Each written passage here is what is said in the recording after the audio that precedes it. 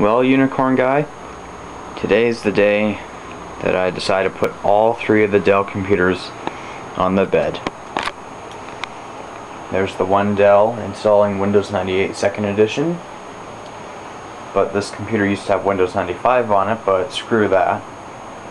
I got enough Windows 95 computers in there.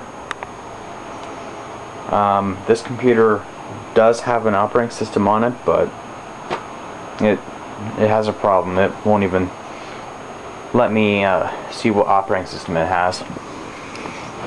Guessing there's an error with it. This one over here has Windows XP Professional Service Pack 3 installed on it. So I don't need to worry about this one.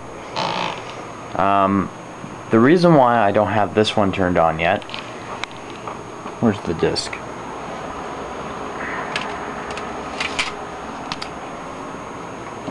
Is because Windows 2000, like Windows 2000 will be going on this computer.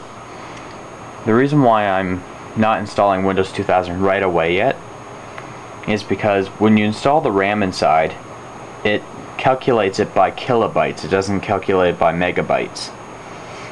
In this computer, it has 64 megs of RAM, but I will be taking those RAM sticks out and put 128 megs in. Well, if I'm going to um, install RAM, I want to know how many megs it is. I know kilobytes and megs are both the same, kind of, but really, I find it easier to find out how much I have with megabytes, not kilobytes, because I don't really understand kilobytes that much. I know a lot about computers, but kilobytes is the one thing I'm going to be like, yeah, I don't know what kilobytes is. I know it's not very much. So after when Windows 98 is installing, or after when it's done, I'm going to um, take the RAM sticks out, go through my whole bag and see which one of these suckers is 128. This Dell computer has 300 and something megabytes of RAM but every time when you turn it on you get these weird little lines that go across the screen. Trust me I've plugged in that screen this screen and this screen and I still get the same thing. But when I unplug the uh, when I unplug the new RAM stick that I just put in there the lines go away. So I guess this computer doesn't really like the RAM sticks I just put in it or the one stick. So let's see how much it has.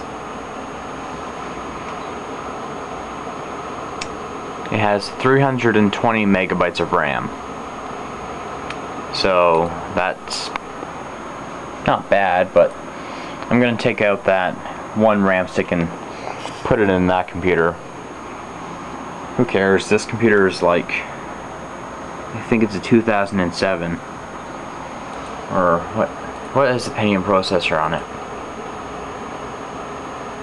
It is a Pentium 3, although I got a Pentium 4 sticker on there.